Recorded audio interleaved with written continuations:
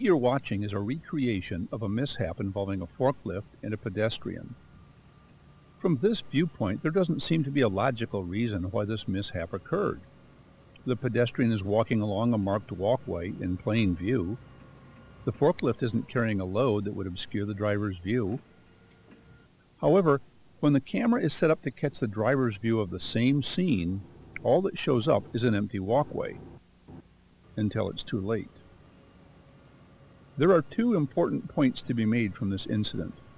One, a pedestrian can't assume the forklift driver sees him or her, and second, they can't assume a forklift is just like any other vehicle. These points are important to make because of the very large number of mishaps that occur. Tens of thousands of pedestrian injuries are caused by forklifts every year in the United States. Measured against that, there have been no reports of injuries to forklifts from running into pedestrians. To help understand why all these injuries happen, we should go back and look at the assumptions. People tend to assume that forklifts are just like other vehicles, including the one they drove to work that morning, except maybe a bit more nimble since they zip back and forth. And that implies that they aren't especially heavy. It also assumes that they steer and move like automobiles and can stop as quickly. People also assume that like the other vehicles they're familiar with, forklift drivers can see just about everything around them. The fact that none of these assumptions are true is what gets those tens of thousands of pedestrians injured each year. Take the assumption about what forklifts weigh, for example. Even without a load, they're a lot heavier than they look. This forklift, even empty, weighs about the same as these two automobiles. To allow a forklift to carry a heavy load up front, each one has a heavy counterweight in back. On this model, the counterweight alone weighs close to the same as a small pickup truck. An electric forklift has a smaller counterweight because the battery provides part of the weight. We staged a demonstration of how heavy a forklift battery can be.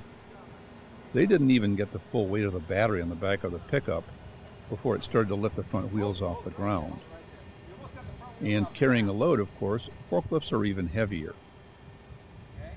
This concentrated weight translates into much more severe injuries to pedestrians, much more than people would predict would happen if they hadn't seen the actual results. To illustrate this, we reenacted another mishap, an example of the fourth leading cause of pedestrian injuries, being pinned between a forklift and something else. The driver checked to the right, then backed out. The pedestrian was just coming out from between other forklifts. If this were to happen with a passenger car, it would be a very nasty injury. But to visualize the kind of injury from a forklift counterweight, we replaced Debbie with a turkey drumstick, and she wasn't insulted.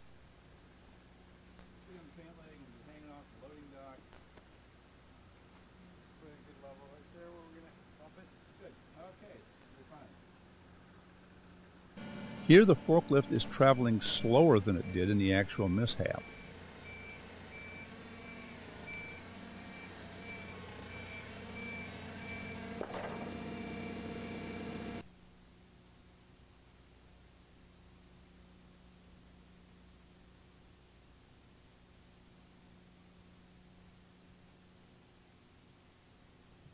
That's simply too much damage to ever heal. That's why so many pedestrians struck by forklifts have to have limbs amputated. Here's another reenactment of a pedestrian forklift mishap. This incident led to the pedestrian having their foot run over, the ninth leading cause of pedestrian injuries from forklifts.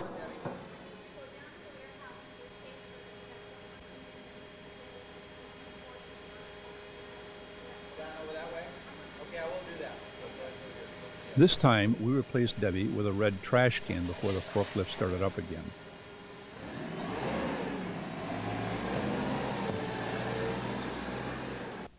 And now we'll use a pair of drumsticks to replace her feet to show the effect of being run over by a forklift.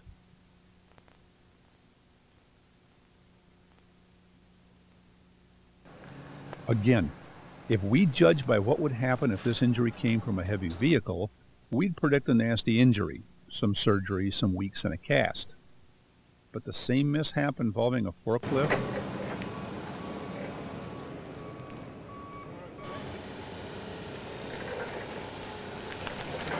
Notice in the drumstick run over by the forklift, part of the bone is simply missing. Severe enough damage that it probably leads to an amputation.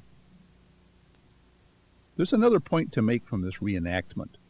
A characteristic of powered industrial trucks, forklifts, that increases the chances of one hitting a pedestrian is the way they maneuver. People are used to seeing how cars turn a corner. The front end swings around and the rear follows the same path. But the steering wheels on a forklift are in the rear, so when they turn a corner, that heavy back end swings out. Many of the pedestrian injuries, the struck by and the pinned between forklift and something else, happen this way. Related to that weight and maneuverability is the fact that powered industrial trucks simply can't stop as quickly as other vehicles. Of course, these characteristics don't exist out there just by themselves. They team up with those very bad sight lines to create the severe hazard to pedestrians. To help people appreciate how limited the forklift driver's vision can be, we set up a display at our forklift rodeos. We encouraged people to sit in the driver's seat to spot the pedestrian. It's a very worthwhile exercise, one that any employer could easily duplicate to help create a safer workplace. So these are some of the characteristics of forklifts that contribute to the number and severity of injuries to pedestrians in the workplace. The other causes of injuries have to do with where and how forklifts are used in the workplace. The pace of work, the repetitive nature of work,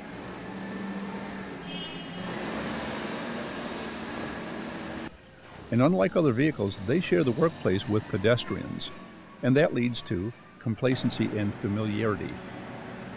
And again, pedestrians don't understand how limited the sight lines are from a forklift. Pedestrians struck by powered industrial trucks are the most common causes of injuries. However, there are two other causes that bear mentioning here.